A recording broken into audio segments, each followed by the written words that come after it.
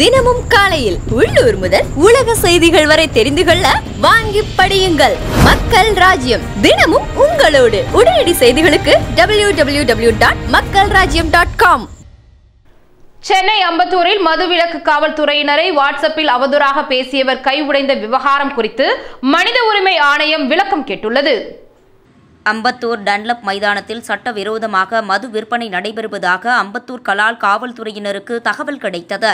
இதனை அடுத்து கலால் உதவி ஆய்வாளர் நாதமுனி அங்கு சென்று ஆய்வு மேற்கொண்டார். அப்போது அங்கிருந்த அயப்பாக்கத்தைச் சேர்ந்த தேவேந்திரன் என்ற சமூக ஆர்வலரை உதவி ஆய்வாளர் சோதனை செய்துள்ளார். இதில் ஆத்திரமடைந்த தேவேந்திரன் கலால் உதவி ஆய்வாளர் நாதமுனி மற்றும் ஆய்வாளர் ஜார்ஜ் மில்லர் ஆகியோரை தரக்குறைவாகவும் அவதூறாகவும் பேசி வாட்ஸ்அப்பில் ஆடியோ ஒன்றை வெளியிட்டார்.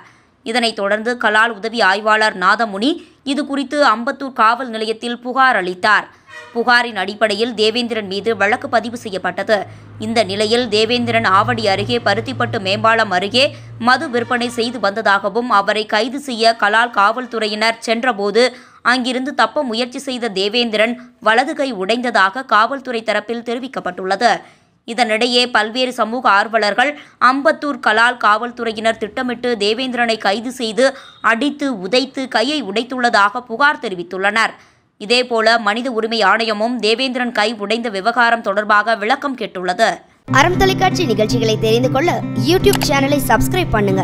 அண்ட் மறக்காம பெல் பட்டனை கிளிக் பண்ணுங்க. அறம் தொலைக்காட்சியை மொபைலில் பார்ப்பதற்கு கூகுள் பிளே ஸ்டோருக்கு சென்று அறம் ஆப்பை டவுன்லோட் பண்ணுங்க.